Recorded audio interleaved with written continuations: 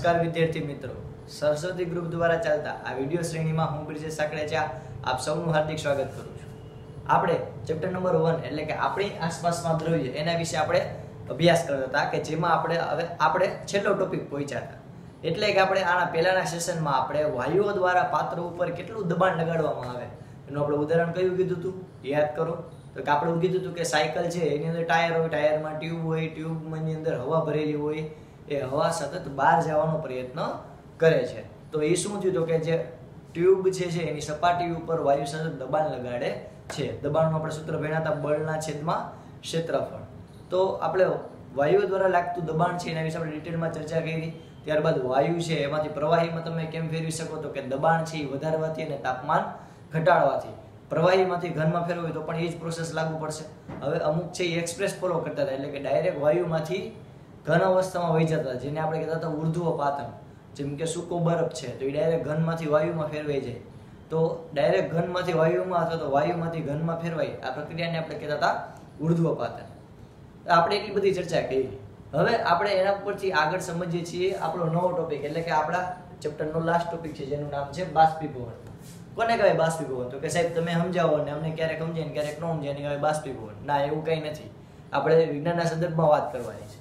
તો બાષ્પીભવન પહેલા તો કોને કહેવાય? તો કે દ્રવ્યના કણ સતત ગતિશીલ ક્યારેય અટકતા નથી. એટલે કે દ્રવ્યના કણ સતત ગતિશીલ હોય છે. સતત દ્રવ્યના કણોમાં મુવમેન્ટ કરતા જ હોય છે. સપોઝ કે ઘન અવસ્થા હોય તો એ એવી રીતે આમ નજીક નજીક ડિસ્કો કરશે. પ્રવાહી અવસ્થામાં હોય તો લાંબો ડિસ્કો કરશે. અને વાયુ અવસ્થામાં તો બે ત્રણ પગથિયા ચડી, બે ત્રણ પગથિયા ઉતરી એટલે કે બહુ લાંબો ડિસ્કો કરશે. તો કોઈ પણ અવસ્થા હોય, પછી ઘન હોય તોય ભલે, પ્રવાહી હોય તોય ભલે અને વાયુ હોય તોય ભલે. એમાં કણ જે હોય, દ્રવ્યના જે કણ હશે, એ સતત ગતિશીલ હશે. એટલે કે સતત ગતિ કરતા હશે. કે જે ક્યારેય અટકતા નથી. એ ધ્રુજતા તો વાઇબ્રન્ટ મોડમાં તો હોય જ.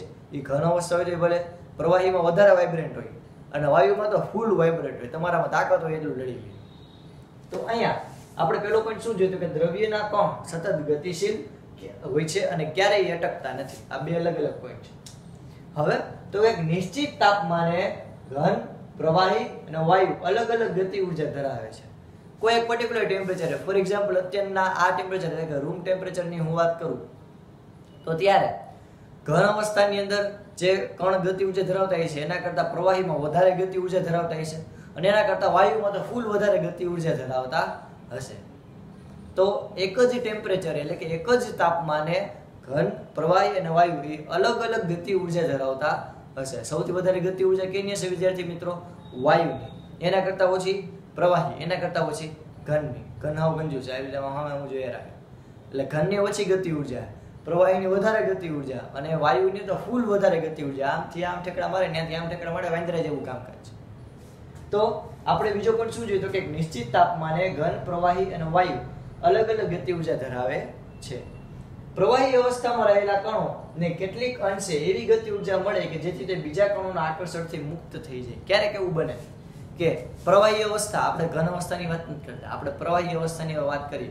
તો પ્રવાહી અવસ્થાની અંદર મેં તમને હમણાં જ કીધું કે એ ગતિ ઊર્જા ધરાવતા હશે. સાવ ઓછી ગતિ ઊર્જા નહીં, થોડીક ગતિ ઊર્જા ધરાવતા તો હશે. હવે તો કે એના હોય એને તમે ટેમ્પરેચર વધારો. એટલે તો ઓઇલમાં ડિસ્ક કરવા મળશે એટલે કે ટેમ્પરેચર વધારો તો એની ગતિ ઊર્જા વધશે. તો તમે એટલી ગતિ ઊર્જા એને આપો કે જેથી એ સાવ મુક્ત થઈ જાય, ગમે માટા મારવા માંડે, વાંદરાની જેમ. એટલે કે વાયુ જેવો થઈ જાય, વાયુ જેવી ગતિ ઊર્જા ધરાવે, તો પ્રવાહી કેમાં કન્વર્ટ થઈ જાય? વાયુ. આઈ રિપીટ શું આપણે ચર્ચા કરી? તો કે જ્યારે પ્રવાહી છે, પ્રવાહીને આપણે તાપમાન વધારી અથવા તો કોઈ પણ રીતે આપણે એને કહેવાય ને કે એની ગતિ ઊર્જા વધારીએ. એની ગતિ ઊર્જા આટલી ગતિ ઊર્જા હોય, એને બદલે આપણે ફૂલ વધારીએ. આપણે વધારે ગતિ ઊર્જા આપી તેના માટે શું કરશે? તો કે તમે તાપમાને વધારી શકો અને બીજું? તો કે દબાણ છે એ વધારી શકો, ઘટાડી શકો. તમારે વિચારવાનું છે. શું કરશો? વિચારજો. આનો જવાબ હું નહીં કહું. તમે તમારી રીતે વિચારો. તો આપણે તાપમાન વધારીને આપણે ઘનમાંથી પ્રવાહીમાં, તો આપણે ભણી ગયા હતા. પ્રવાહીમાંથી વાયુમાં ફેરવવું હોય તો તમે તાપમાન વધારશો. તો પ્રવાહી અવસ્થાની અંદર રહેલા કણો છે એ વધારે ગતિ ઊર્જા મેળવશે કે જેથી અસ્તવ્યસ્ત મુક્ત ગતિ કરશે કે જેને લીધે એની ગતિ ઉર્જામાં વધારો થશે. તો ઉત્કલન બિંદુથી ઓછા તાપમાને પ્રવાહીનું વાયુ સ્વરૂપમાં રૂપાંતર થવાની પ્રક્રિયાને શું કહેવાય? બાષ્પીભવન. સમજો હું શું કહું છું. ઉત્કલન બિંદુથી ઓછા તાપમાને. ઉત્કલન બિંદુથી ઓછા તાપમાને. પ્રવાહીનું વાયુ સ્વરૂપમાં રૂપાંતર થવાની પ્રક્રિયાને શું કહેવાય? બાષ્પીભવન. એટલે ઉત્કલન બિંદુ એટલે પહેલા તો શું ખબર હોવી જોઈએ? તો કે જે તાપમાને પ્રવાહી છે એ વાયુ સ્વરૂપમાં રૂપાંતર પામવા પામે વાયુ સ્વરૂપમાં રૂપાંતર પામે, એને આપણે શું કહેશે? ઉત્કલન બિંદુ. આપણે ભણી ગયા તો યાદ કરો, ઉત્કલન કોને કહેવાય? તો કે પ્રવાહીમાંથી કોઈ પણ પદાર્થ હોય વાયુમાં ફેરવે એને કહેવાય ઉત્કલન. જેમ કે પાણી હોય એમાંથી તમે ગરમ કરો તો વરાળ થાય. તો એ પ્રક્રિયાને શું કહેવાય? ઉત્કલન. હવે જે તાપમાને પાણી છે એ વરાળમાં સંપૂર્ણ રૂપાંતર થાય એને શું કહેવાય? ઉત્કલન બિંદુ. પણ તમે જ્યારે પાણી ગરમ કર્યું ત્યારે જોયું હશે કે એકી સાથે એવું નથી જો આમ ગેસ ચાલુ કર્યો, આવી રીતે આપણે પાણી ગરમ થાય, આપણે જોઈએ. અચાનક એક સાથે બધું પાણી ઉડી ગયું છે. એક જ સાથે બધું પાણી. ના. ધીરે ધીરે ધીરે ધીરે ધીરે ધીરે પાણી એની વરાળ બનતી જશે અને ધીરે ધીરે પાણી ઓછું થતું જશે. એટલે કે હવામાં ઉડતું જશે. તમે સતત ચાલુ રાખો એટલે એક સમય એવો હશે ત્યારે પાણી જે છે એ તપેલીમાં વધશે જ નહીં. બધું વરાળમાં રૂપાંતર થઈ ગયું છે. તો એ પ્રક્રિયાને કહેવાય, એ પ્રક્રિયા જે, એ જે બિંદુ હશે એને કહેવાય ઉત્કલન પણ ઉત્કલન બિંદુ કરતા ઓછા તાપમાને પાણીની વરાળ થવાની ચાલુ તો થઈ ગઈ હતી. તો એ પ્રક્રિયાને શું કહેવાય? બાષ્પીભવન. તો બાષ્પીભવન એટલે શું? તો કે એક એવું પોઈન્ટ આપણે નક્કી કર્યું ઉત્કલન બિંદુ, કે જ્યારે પાણી, પ્રવાહી પદાર્થ હોય સંપૂર્ણ કેમાં ફેરવાઈ જાય? વાયુમાં. પણ બાષ્પીભવન એટલે શું? તો કે ઉત્કલન બિંદુ કરતા ઓછા તાપમાને પ્રવાહી જ્યારે વાયુ સ્વરૂપમાં રૂપાંતર પામે એ ઘટનાને આપણે કહેશું બાષ્પીભવન. આટલું ક્લિયર થયું. હજી એક ઉદાહરણ તો તપેલી ભરવાની મસ્તી તમે ઘરે એક્સપેરિમેન્ટ કરી શકો. તપેલી ભરવાની મસ્તીની, પાણીની. એને ગેસ ઉપર મૂકવાની, ગેસ ચાલુ કરવાનો. અને જોવાનું. તો થોડી વાર ટેમ્પરેચર વધશે, થોડીક વાર ગરમ થશે, પાણીની તપેલી. એટલે પાણી જે છે એ વરાળ બનતી જશે અને ઉઠશે તો ભાઈ બધું પાણી એકી સાથે નથી ઉઠતું ધીરે ધીરે ધીરે ધીરે ધીરે પાણી ઓછું થતું જશે. તો જે પાણી ઓછું થાય છે, એનો મતલબ શું થયો? તો કે જે અંદર રહેલું પ્રવાહી જે છે પાણી, એ કેમાં રૂપાંતર પામે છે? ધીરે ધીરે વરાળમાં. તો ઉત્કલન બિંદુથી પણ ઓછા તાપમાને પ્રવાહી વાયુ સ્વરૂપમાં રૂપાંતર પામવાની ઘટના જે ચાલુ થઈ ગઈ, એને આપણે શું કહીએ બાષ્પીભવન. બધે બધું પાણી છે એ વરાળમાં રૂપાંતર થઈ એ તાપમાન આપણે શું કહેશે? ઉત્કલન બિંદુ. ક્લિયર ચાલો. હવે આ બાષ્પીભવનને અસર કરતા પરિબળ એટલે કે ક્યારે બાષ્પીભવન અમુક કિસ્સામાં બાષ્પીભવન વધારે થાય, અમુકમાં ઓછું થાય. તો ક્યારે બાષ્પીભવન વધારે થાય, ઓછું થાય એટલે કે બાષ્પીભવનને અસર કરતા પરિબળ ક્યાં ક્યાં? તો કે સૌથી પહેલું પેલું છે, લોક લાગણીને ધ્યાનમાં રાખીને સપાટીનું ક્ષેત્રફળ વધવાથી સપાટીનું તમે ક્ષેત્રફળ જેમ વધારો એમ બાષ્પીભવન વધારે થાય. સપાટીનું ક્ષેત્રફળ જેમ વધારો, એમ બાષ્પીભવન વધારે થાય. શું કયો સાહેબ? તો કે જો હું જેમ સપાટી વધારીશ પદાર્થ, એમ વધારે પ્રવાહીના જે કણ હશે એ કેમાં ફેરવાશે? વાયુમાં ફેરવાશે. જેમ હું સપાટી વધારીશ પદાર્થની પદાર્થની સપાટી માની લો કે આટલી બધી મોટી ગઈ તો એની અંદર જે આપણે પ્રવાહી ભર્યું છે, એ પ્રવાહીના કણ છે એટલા બધા કણ એકી સાથે વાયુમાં રૂપાંતર પામશે. તો બાષ્પીભવન શું થયું? વધ્યું સિમ્પલ એક્ઝામ્પલ આપ. મમ્મી જ્યારે કપડાં સુકાવે, મમ્મી જ્યારે કપડાં સુકાવે તો તમને ખબર તમે જોયું હશે કે એ જ્યારે દોરી હોય તો દોરીમાં કાંઈ આવી રીતે, તમે વિચાર કરો દોરીમાં આવી રીતે આમ લટકાડશે કપડાં? નહીં લટકાડે. એ કેવી રીતે લટકાડશે? તો કે જે આવી રીતે કપડું લટકાડશે, મસ્તીમાં પાકું પોળું કરી પછી આવી રીતે આમ લગાડશે. આવી રીતે આ તો શું કામ ભાઈ આવી પોળું કર્યું મમ્મીએ? એ આવી રીતે ન રાખે બધા કપડા આવી રીતે આમ નોટિંગ ટીંગાડીએ તો શું કામ આવી રીતે નો ટીંગાડ્યા તો કે જો આવી રીતે ટીંગાડે કપડા, તો જો એનું ક્ષેત્રફળ કેવું ઓછું એટલે કે આટલા જ પાણીના આટલા જ જે ભીનું થયું છે પાણી એ કેમાં રૂપાંતર પામશે? વરાળમાં, ભેજમાં. તો કપડાં સુકાતા વાર લાગશે. એની જગ્યાએ આપણે શું કરશે? તો કે એનું ક્ષેત્રફળ વધારી દેશે. એટલે કે જે કપડું છે એના પૂળું કરી નાખશે. એટલે આવી રીતે જો દોરીમાં સુકાવે મમ્મી, તો જ્યાં આટલા બધા જો આ બધું સપાટી ભીની છે તો આ બધા કણ એકી સાથે ક્યાં જશે? વાતાવરણમાં. એટલે કે એકી સાથે આટલા બધા બાષ્પીભવન થશે એટલે કે બાષ્પીભવનનો દર કેવો થયો? વધ્યો. એટલે કપડાં જ્યારે સુકાવીએ ત્યારે કપડાને આપણે ભેગા નથી ગોઠવતા. કેવા રાખીએ? આમ છૂટા ગોઠવીએ. તો એને લીધે બાષ્પીભવનનો દર કેવો થાય? વધારે. એટલે સપાટીનું ક્ષેત્રફળ છે એ વધે, તો બાષ્પીભવનનો દર પણ વધે. એટલે અહીંયા આપણે લખી નાખશી કે સપાટીનું ક્ષેત્રફળ વધે, તો બાષ્પીભવન વધે. રેડી હવે તાપમાનનો વધારો. તાપમાન વધારો, તો પ્રવાહીના જે અણુઓ છે, એ ઊર્જા મેળવી. પ્રવાહીના અણુઓ ઊર્જા મેળવશે, તાપમાન વધારો. તો પ્રવાહીના અણુ ઊર્જા મેળવીને કેમાં ફેરવાશે? વાયુમાં. ફોર એક્ઝામ્પલ આ પ્રવાહીના કણ છે, તો તાપમાન મેળવશે, એટલે છૂટા થઈ ગયા, છૂટા થઈ ગયા, એટલે કે બંધ તૂટી ગયા, બંધ તૂટી ગયા, તો પછી અસ્ત વ્યસ્ત ગમે ગતિ કરશે. તો પ્રવાહી કેમાં ફેરવાઈ જશે? વાયુમાં. તો તાપમાન વધે, તો પણ બાષ્પીભવન વધે. તાપમાન વધે તો બાષ્પીભવન વધે. હવે તો કે ભેજની માત્રામાં ઘટાડો થવો. ઓહો, ભેજની માત્રામાં ઘટાડો થવો. ભેજ છે એ ઘટે. ભેજ ઘટે. તો એટલે પહેલાં તો ભેજ એટલે શું? આપણે જો વ્યાખ્યા લખી મસ્તીની, નાની નાજુકડી હવામાં રહેલી પાણીની બાષ્પની માત્રાને ભેજ કહે છે. આ હવામાં રહેલી પાણીની વરાળ, પાણીની બાષ્પ, કે જે આપણને દેખાતી નથી, એને આપણે શું કહેવાય? ભેજ. તમે એમ કહો સાહેબ, મારે જોયું હોય તો ભેજ. મને તમે ખાવ મને તમે સાબિતી આપો, ભેજ હવામાં હવામાં ભેજ હોય. તો સિમ્પલ તમે જ્યારે ઠંડી બોટલ હશે ફ્રીજમાંથી બહાર કાઢશો, તો થોડીક વાર પછી જોજો, એની જે બોટલની સપાટી છે ને, ત્યાં આખું પાણી જમા જમા થઈ જાય. તો તમે ભાઈ પાણી બહાર તો નહોતું નાખ્યું. તમે પાણી તો અંદર જ હતું શીશાની. તો જો સપાટી છે ત્યાં કેમ નાના નાના પાણીના ટીપા આવી ગયા? તો કે ભાઈ એ પાણી ઠંડુ હતું. એ ઠંડુ તમે વાતાવરણમાં રાખ્યું. તો જે વાતાવરણની જે ભેજ હોય ને જે પાણીની બાષ્પી ઠંડી પડી, ઠંડી પડીને ક્યાં ભેગી થઈ? શીશામાં. એટલે કે શીશાની બહારની સપાટી ઉપર, એટલે ત્યાં આપણને ભેજ જોવા મળે. એ બેસ્ટ સાબિતી ભેજની. જો તમે ટ્રાય કરજો ઘરે. હવે ફ્રીજમાંથી બોટલ મસ્ત બહાર કાઢીને થોડીક વાર રાખવાની. જોજો આખી સપાટી છે, સપાટી શીશાની આખી સપાટી પાણીવાળી થઈ જશે. તો હવામાં રહેલી પાણીની બાષ્પની માત્રાને શું કહેવાય? ભેજ કહે છે. તો ભેજની માત્રા ઘટે. ભેજની માત્રા ઘટે, તો પણ બાષ્પીભવન છે એ ઘટશે કે વધશે? તો કે ભેજની માત્રા ઘટે એટલે આજુબાજુ જો ભેજની માત્રા ઘટશે, તો બાષ્પીભવન વિચારો વિચારો. જો ભેજની માત્રા ઘટે, તો બાષ્પીભવન ઘટે. સિમ્પલ વાત ભેજની માત્રા ઘટે તો બાષ્પીભવન ઘટે, કારણ કે ભેજ ઘટશે. તેનો મતલબ શું? તો કે બધું પ્રવાહીમાં ફેરવાશે. તો પ્રવાહીમાંથી વાયુમાં કોઈ પદાર્થ ફેરવાશે નહીં. એટલે કે ભેજની માત્રામાં ઘટે, ઘટાડો થાય તો બાષ્પીભવન પણ ઘટે.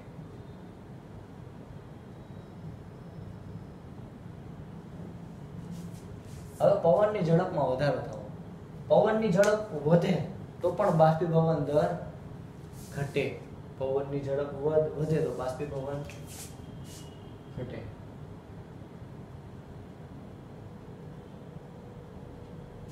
ફોર એક્ઝામ્પલ આપણે ઉનાળાની અંદર ખૂબ પરસેવો વળતો હોય આપણે ખબર રાખવામાં પરસેવો વળતો હોય. હવે જેવો મસ્ત પવન આવશે, તો પવન આવશે તો પરસેવો સુકાઈ જશે કે નહીં? તો તમે કહેશો સાહેબ સુકાઈ જશે. તો પવન આવ્યો, તો આપણો પરસેવો સુકાઈ ગયો. જેમ પવન આવ્યા રાખશે, તો આપણને પરસેવો વળશે નહીં. પરસેવો નહીં વળે એનો મતલબ શું તો કે જે પાણી છે એનું વરાળમાં રૂપાંતર થશે નહીં. એનો મતલબ એમ કે જેમ પવન વધારે છે એમ તમારો બાષ્પી એટલે કે તમારો નહીં સોરી જેમ પવનની ઝડપ વધશે, બાષ્પીભવનનો દર ઘટશે. તો આ મેઇન ચાર કહેવાય પરિબળ હતા કે જે બાષ્પીભવન પર અસર કરતા હતા. સૌથી પહેલાં પહેલું તો કે સપાટીનું સેટઅપ ક્ષેત્રફળ વધવાથી, બીજું તાપમાનનો વધારો થવાથી, ત્રીજું ભેજની માત્રામાં ઘટાડો થવાથી, અને ચોથું પવનની ઝડપમાં વધારો થવાથી. આ ચાર પરિબળ હતા. હવે તો કે આપણને એવું પ્રશ્ન થાય કે તો આપણને સાહેબ કોઈ વસ્તુ છે? બાષ્પીભવન થાય એટલે ઠંડી કેમ થાય? ફોર એક્ઝામ્પલ ઉનાળાની અંદર માટ, માટ- માટલું હોય, માટલાની અંદરનું પાણી તમે જોજો, ઠંડુ હોય છે. આ ફ્રીજ નહીં તો આપણને ખબર છે કે હમણાંની ટેકનોલોજી છે. જ્યારે વર્ષો પહેલાંથી માટીના ઘડામાં ઉનાળાની અંદર પાણી રાખવામાં આવતું. બધે જનરલી શિયાળ, ઉનાળુ ચોમાસ આપણે માટીના માટલાના, માટલામાં જ રાખીએ છીએ. તો માટલાની અંદર જે પાણી હશે એ ઠંડુ રહે છે. તેનું કારણ શું? તો કે આપણે જોઈએ પહેલાં એના માટે કારણ સમજીએ કે ખુલ્લા પાત્રમાં રહેલા પ્રવાહીમાં દરેક તાપમાને સતત બાષ્પીભવન થતું રહે. કોઈ ખુલ્લું પાત્ર હોય ફોર એક્ઝામ્પલ તપેલીમાં તમે પાણી ભરેલું હોય, તો એ ખુલ્લું પાત્ર થયું. તો ખુલ્લા પાત્રમાં પ્રવાહીમાં દરેક તાપમાને સતત બાષ્પીભવન થતું રહે. સતત શું થતું હોય? બાષ્પીભવન. એ તમે ઓછું ટેમ્પરેચર હોય તો ભલે, વધારે ટેમ્પરેચર હોય તો ભલે. જો ઓછું ટેમ્પરેચર હોય તો ઓછું બાષ્પીભવન થાય. વધારે ટેમ્પરેચર હોય તો, એટલે કે વધારે તાપમાન હોય તો વધારે થાય. આટલું પહેલાં ક્લિયર ઇન શોર્ટ ખુલ્લું પાત્ર હશે ખુલ્લું પાત્ર. બંધ પાત્ર નહીં, ખુલ્લું. તો એમાં કોઈ પણ ટેમ્પરેચર હશે, ત્યારે બાષ્પીભવન કાંઈક ને કાંઈક તો થતું જ હશે. જો ઓછું ટેમ્પરેચર હોય તો ઓછું બાષ્પીભવન થાય, વધારે ટેમ્પરેચર હોય તો એટલે કે વધારે તાપમાન હોય તો વધારે બાષ્પીભવન થાય. હવે, હવેનો પણ સમજો. તો કે બાષ્પીભવન દરમિયાન ઉર્જાને પુનઃપ્રાપ્ત કરવા માટે પ્રવાહીના કણો પોતાની આસપાસ ઉર્જાનું શોષણ કરે છે, જેથી ઠંડી ફેલાય છે. એટલે તો કે જો, બાષ્પીભવન દરમિયાન બાષ્પીભવન દરમિયાન કોઈ પણ પ્રવાહીનું કણ છે એની ઊર્જા શું થાય? મુક્ત થાય.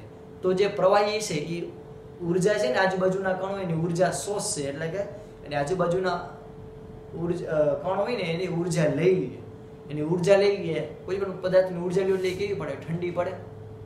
કોઈ પણ પદાર્થની ઊર્જા તમે લઈ લો એટલે કેવી પડે? ઠંડી પડે. ફોર એક્ઝામ્પલ મારી આજુબાજુ જો બે છે. ઢોલું મોલું. આપણા પ્રવાહીના કણ છે. એટલે એની, તો હું આ બંને ઢોલું મોલું બેની ઊર્જા લઈ લઉં. તો મારી ઊર્જા બહુ વધી ગઈ. ઊર્જા વધી ગઈ એટલે હું કેમાં ફેરવાઈ જઈશ? વાયુમાં. તો હું વયો ગયો. તો મેં આ બેની ઊર્જા લઈ લીધી હું કેમાં ફેરવાઈ ગયું? વાયુમાં.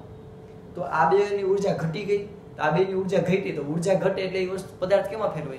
ઠંડા. ઠંડા પદાર્થ. તમે ફોર એક્ઝામ્પલ આપણું હથેળી છે, એમાં તમે બરફ રાખો. તો હકીકતમાં બરફ શું કરે? તો કે જે બરફ એટલે પાણી. પાણીનું ઘન સ્વરૂપ જ છે.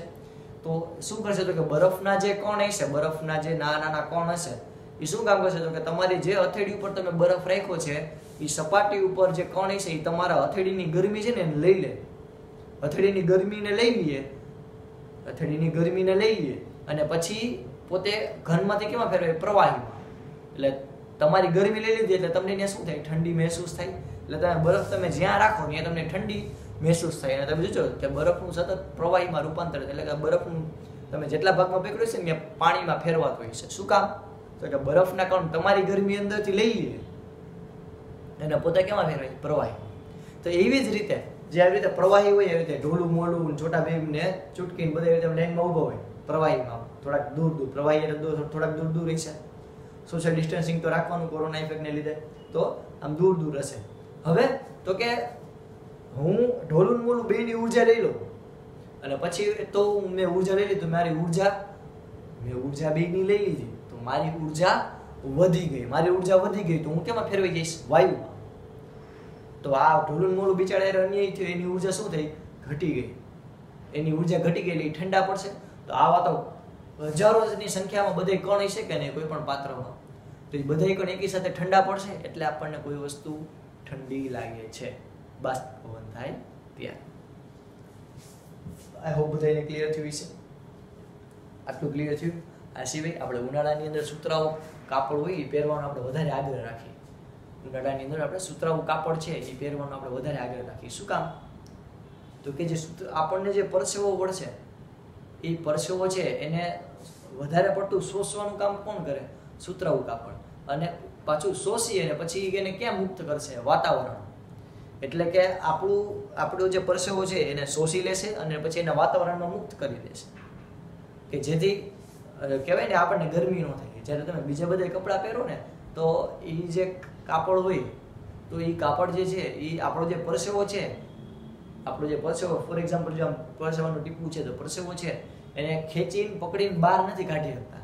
અંદરની અંદર રહીએ તો અંદરની અંદર આપણે કહેવાય થર્મોસ જેવી આપણી હાલત થઈ જાય. અંદરની અંદર પરસેવો રહીએ એટલે ગરમી ધીરે ધીરે વધતી જાય વધતી જાય વધતી જાય. આપણને બહુ વધારે ગરમી થાય. એટલે ઉનાળાની અંદર આપણને ખબર છે કે સુતરાવું કાપડ પહેરવાનું એટલે કે સુતરાવું કાપડ તમને ખબર છે, સાવ સાદું કાપડ આવે. સુતરાવું કાપડ પહેરવાનો આપણે વધારે આગ્રહ રાખીએ. આ સિવાય તમને ચર્ચા કરું, તો આપણે ઘણા બધા એવા પદાર્થ છે કે જે ડાયરેક્ટ કહેવાય ને કે ઘનમાંથી ડાયરેક્ટ વાયુ સ્વરૂપમાં ફેરવાય. જેમ કે નેપથેલિનની એટલે કે ડામરની ગોળી. તમે જોયું હશે, ડામરની ગોળી હોય, આપણે વોશરૂમમાં ને એમાં ક્લીન કરવા માટે રાખીએ. એ ઘનમાંથી કેમાં ફેરવાઈ જશે? ડાયરેક્ટ વાયુમાં. તો એ શું કામ કરશે? તો હકીકતમાં એ આજુબાજુની પદાર્થ હશે, એની ઊર્જા ફટાક કરતી એટલી બધી ઊર્જા મેળવી લેશે કે કેમાં ફેરવાઈ જાય? વાયુમાં ઓકે આ સિવાય, તો કે આ સિવાય તમને વાત કરું તો અત્તર અત્તરની સીસી છે, સેન્ટ છે એસિટોન, પેટ્રોલ, આ બધા બાષ્પશીલ પદાર્થો છે. આ બધા પદાર્થો જે છે એ શું કરશે? તો કે આ બધા પદાર્થો બાષ્પીભવન પામે. એ શું કરશે? તો કે આજુબાજુના જે કોઈ પણ પદાર્થ છે, જેમ કે પેટ્રોલ છે, તો એને તમે ટાંકીમાં ભર્યું. હવે પેટ્રોલ હશે ને તમે ટાંકીમાં ભર્યું. એ કામ શું કરશે? તો કે જે પેટ્રોલ જે ટાંકીના જે કણ છે, એમાંથી ઊર્જા શોષી લેશે. અને જો તમે પેટ્રોલને ખુલ્લું રાખો, એટલે કે ટાંકી થોડી ખુલ્લી રાખો, તો એ એમાંથી, પ્રવાહીમાંથી વાયુમાં ફેરવીને ઉડી જશે. અને જે તમારી ટાંકી છે કેવી થશે? થોડીક ઠંડી થશે. આવું જ કામ અતર કરે. તમને ખબર અત્યારે પ્રવાહી સ્વરૂપમાં હોય, પ્રવાહી. તમે જેવું તમારે સપામ અને હથેળીમાં કે એમાં આવી રીતે રાખો, તો પ્રવાહી અતર હોય એ આપણા હથેળીમાંથી ગરમી મેળવી, ઊર્જા મેળવી અને એ વાયુમાં ફેરવાય અને આપણને સુગંધ આવે તો આવા અલગ અલગ ઉપયોગ છે બાષ્પીભવનના બરાબર વિદ્યાર્થી મિત્રો? કે તમે જે તમે આપ જાણો છો અને પ્રેક્ટિકલ કરવાની પણ મેક્સિમમ ટ્રાય કરજો. મેં જેટલા પણ ઉદાહરણ કીધા, બધા ઉદાહરણ તમે ઓબ્ઝર્વ કરજો તો મજા આવશે. ઓકે તો આ બધા જે પોઈન્ટ છે તમારે લખવાના રહેશે. ફટાફટ બધાને બે મિનિટનો ટાઈમ આપો. બધા લખી લ્યો. ડિંગ ડિંગ ડિંગ ડિંગ ડિંગ, ફટાફટ લખી લ્યો.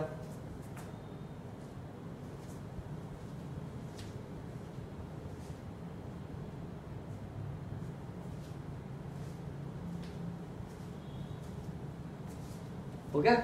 તો અહીંયા સુધી આપણે રાખીએ છીએ. જેટલા જે ક્વેશ્ચન કરાવી બધા બે વાર. એકવાર બાકી બુકમાં એકવાર રફ બુકમાં બાકી બુકમાં લખી ત્યારે મસ્ત વાંચી લેવાનું અને રફ બુકમાં મોઢે લખવાની ટ્રાય કરવાની. હેવ અ નાઇસ ડે જય ભારત, જય Hind. Physics is a life